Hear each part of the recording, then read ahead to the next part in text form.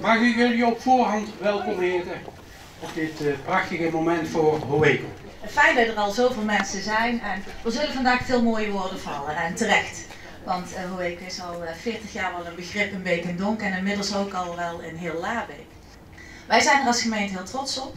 En uh, het knappe vind ik ook, want je kan dan ook denken, nou het is zo'n goed concept, we gaan lekker achterover hangen. Maar dat doen jullie niet als bestuur. Jullie blijven altijd kijken van hoe zorgen we dat dit toekomstbestendig is en dat het overeind blijft. En jullie blijven doorontwikkelen, dat leg je voor aan, aan jullie leden, aan jullie mensen die meedoen. Ja, Hoeco 40 jaar. Aan mij de eer om namens de Raad van Toezicht, tevens bestaande uit Toon Brouwers en Patrick Beekmans, een woordje tot u te richten.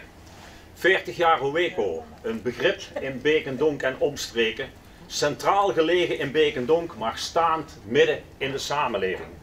Een plek waar de afgelopen 40 jaar heel veel dorpsgenoten en anderen met plezier hebben genoten van allerlei activiteiten, maar vooral van elkaar.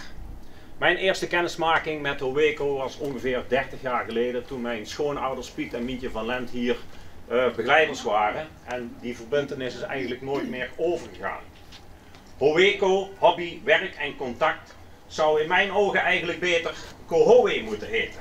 Want contact en ontmoeting staan hier centraal.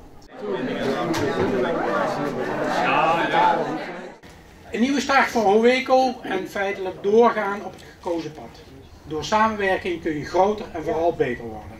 En dat vind ik ook terug bij Hoeco, waar ik in 2017 voorzitter mocht worden. Hoeco is nu qua ruimte, ook juridisch en financieel, kerngezond. En dat allemaal door een goede samenwerking met vrijwilligers op alle gebieden. Sommige vrijwilligers zijn hier al zelfs vanaf de vorige eeuw. En dat zegt iets voor de plezierige sfeer en cultuur die we met elkaar creëren. Want daar doen we het voor. Mijn voorganger Arno zei het al, contact is het belangrijkste bij Hoeco. Wekelijks komen hier 120 tot 150 mensen in dit gebouw om samen met anderen iets te doen. En of dat nou schilderen, mozaïek of een andere creativiteit is, het contact is van belang. Nou, dan gaan we maar naar de officiële opening. Ik heb daar een uh, verzoek uh, gedaan voor Maria van Rietveen.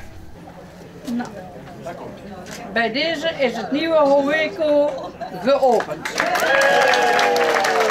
Ja. Ja,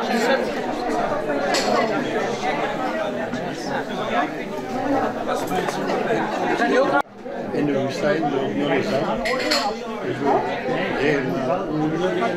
Heb je geen angst?